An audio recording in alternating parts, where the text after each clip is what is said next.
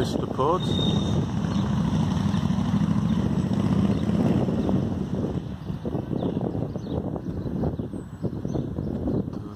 Roman ruins of uh, once a great villa that stretched out into the bay. This is all that's left.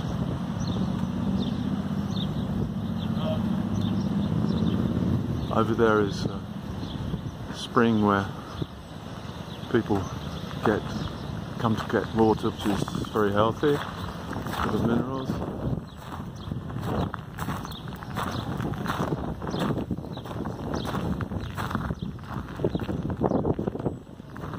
It's got the separate tower.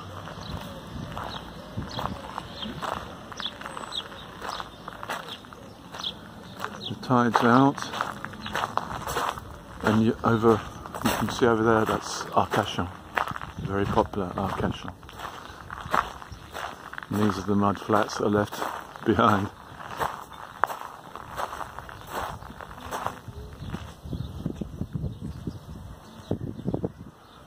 So there are all the, uh, the fishermen's huts where you can buy oyster, oysters or eat oysters. Let's go inside.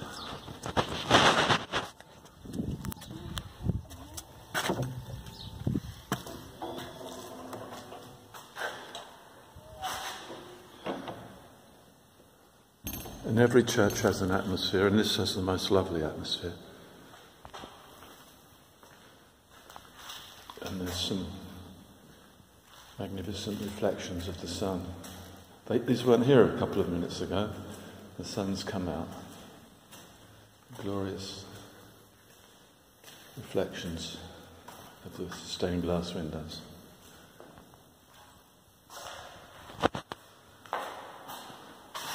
Curiously, it's not so easy to photograph the stained glass windows as the colours seem to wash out.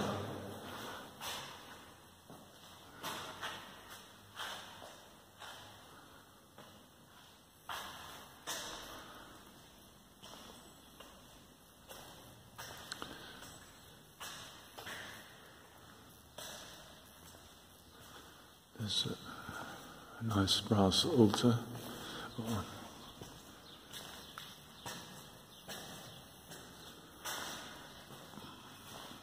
Neither I've never noticed them before, or they've recently uncovered. There's some wall paintings there.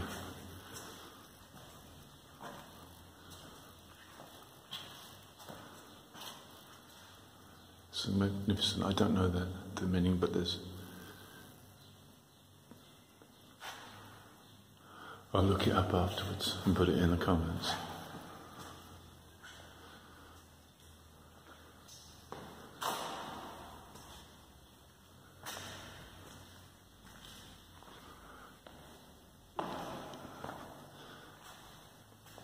A magnificent brass metalwork here.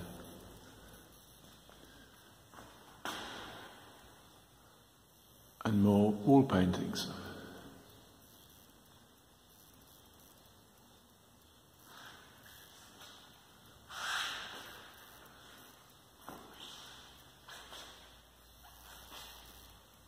And the most magnificent ceiling.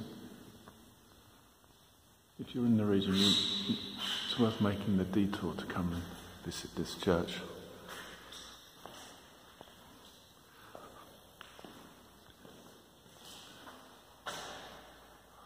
I don't know if that's not meant to indicate some kind of fishing net and the sea to symbolize the fact that this is in a marine location. And it's probably, sadly, at the funerals of drowned sailors. I don't know if this door's open.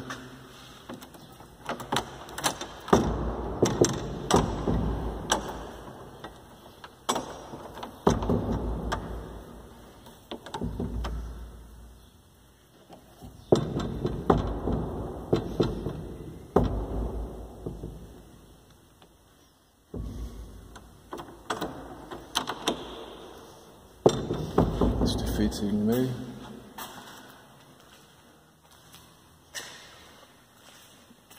I wanted to walk out and see that you, you had the most beautiful view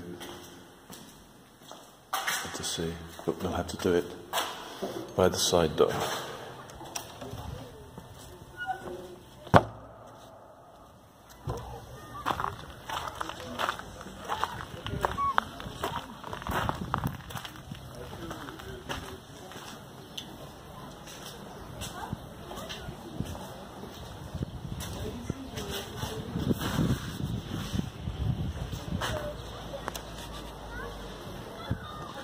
First, it's the beginning of the season.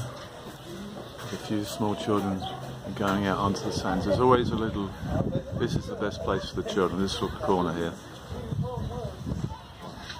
There's a little bit of sand even when the tide's in.